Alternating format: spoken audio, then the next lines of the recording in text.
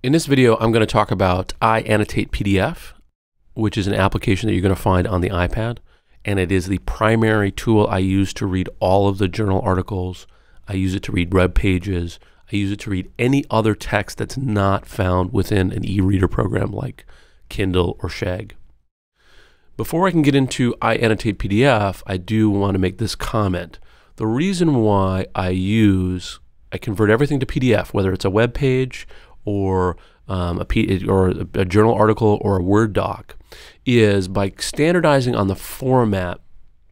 I have found tools like iPDF to be able to annotate, meaning make notes on it, to be far more effective than if I tried to, to create the same kind of note in a web page or on a journal article or uh, anything like that. So, um, so I standardized on PDF. That's the key message to keep my note system consistent across all of my um, types of reading materials. So this is my iPad.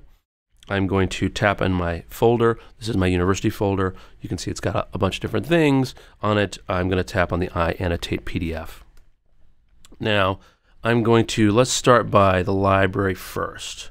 So um, this is my library. You can see here uh, I have it already connected. I have iAnnotate already connected to a Dropbox. So this is my Dropbox. This is my university folder. This is my class folder. This is my uh, weekly assignments folder. And then I'm going to go to week two. And in week two, I have an article. This is uh, Goffman's um, article. This is his journal article on stigma. So there it is. It's chapter 10, selections on stigma. And then one of the things that's very interesting, right at the bottom, let me zoom in there for you, right at the bottom, it's page 131. Now, it is the first page of the PDF, but it is page 131 of the article. Now, why is this important? Um, because uh, the first thing I'm going to need to do if I want to cite, and in the way that uh, APA format, you have to cite the page that a quote comes from as well if there's a page, if there's a known page, right? Obviously, on a web page, there wouldn't be a known page, but on a journal article, there's a known page. So the first thing I want to do is I'm going to zoom in here, and I'm going to, before I start reading, I need to set up two things. Um, make sure my notes have the right heading with the right author, and then to also understand what page I'm on. So in order to um, to know what article I'm talking about for my notes section later and what the author is, I use highlighting. So on the right hand side, uh, uh, fourth item down is the highlighter. And all I'm going to do is I'm going to start. So I place my finger down and I have slid it across the uh, from the bottom lower hand all the way to the upper left hand, you can do it vice versa, either way. But the whole idea here is while highlighting here right now, what I've done is I've captured the title and the author, and I'm just going to hit a check marks. And then the next thing I want to do is I want to make a note for myself later that says this journal article started on page 131. So uh, down here is the notes tab, and it happens to be yellow, but if I tap on here, I can make it red. It doesn't really matter. I'll talk about um, color coding in a second when I talk about highlighting. But uh, I'm just going to make it red for the sake of this visual. And I'm going to tap right between where the article starts and the um, the title. So I'm going to tap right there, and you can see it just popped up a little thing. And I'm going to start um, starts on page 131. And then I'm just going to minimize that. And the reason why that's important is later when I pass these notes into my writing system, I now have a note that tells me that when I go, if I were to quote something on page one of the PDF, um, then it's really page 131. If I were to quote something on page two of the PDF, it would be 132, so forth and so on. Um, the other thing that I'll tell you here is sometimes journal articles have a cover sheet on them.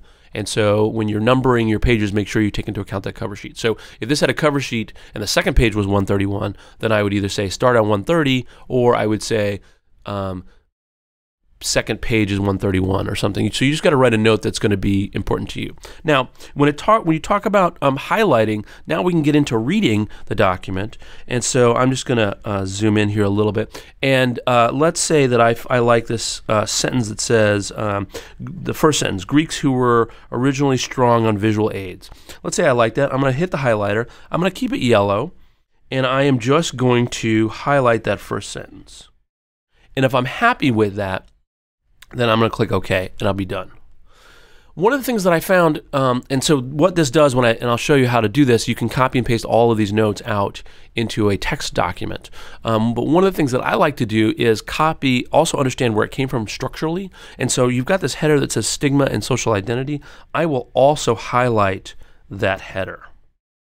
So if you look at a lot of them, like this is preliminary concepts, I will make sure and I always highlight the headers um, so that when I export the data, I know where what subsection that came in of that thing. And so let's say, for example, that the next one is the signs are cut out, and I like that sentence, so I'm going to highlight that one as well. And then the next sentence, the third sentence says later on. And so in my notes, I want to make a distinction. Let's say these are, I'm just going to use this as an example. What if I have a point and counterpoint? And so I want to make a distinction between what the point is or the counterpoint.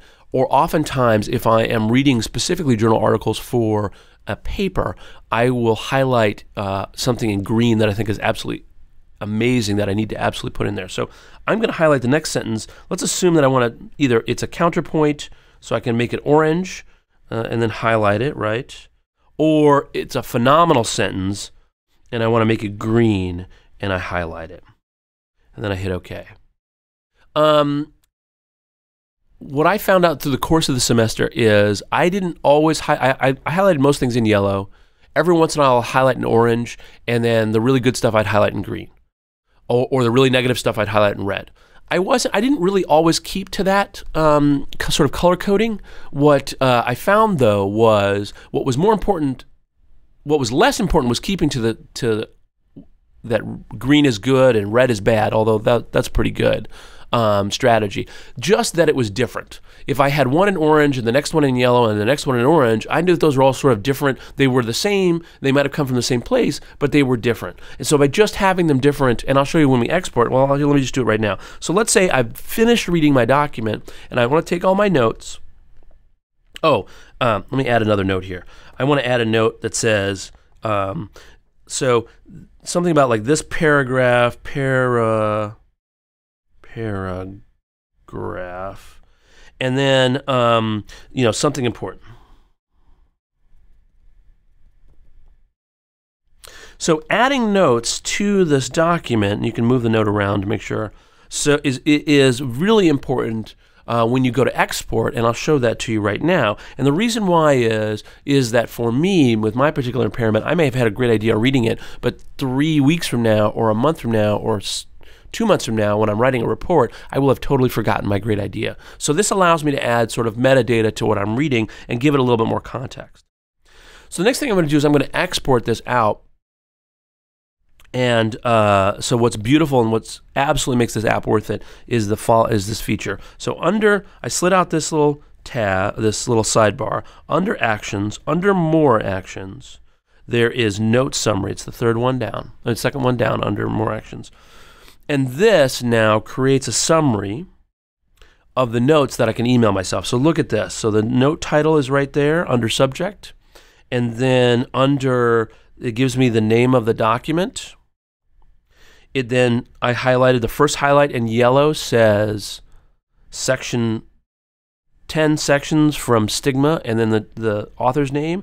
And then there's my note. It says a note and it's in red and it says starts on page 131 so i always know that um, and then the first highlight is on page one right so i always know when i go to cite later that this is page one equals 131 and so therefore when i go to reference it and cite it in my in my uh, writing then i always know that it's 131 and then you can come down here and you can see that other note that I put in that was really important. And you can see the distinctions. Here's my green highlighting, here's my red highlighting, here's uh, here's yellow, green, and green. And so those tells me that even though they're the same paragraph or they're in the same place, that they're different concepts.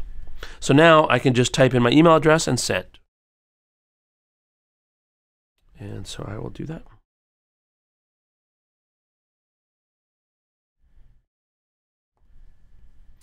And I'm just going to send it.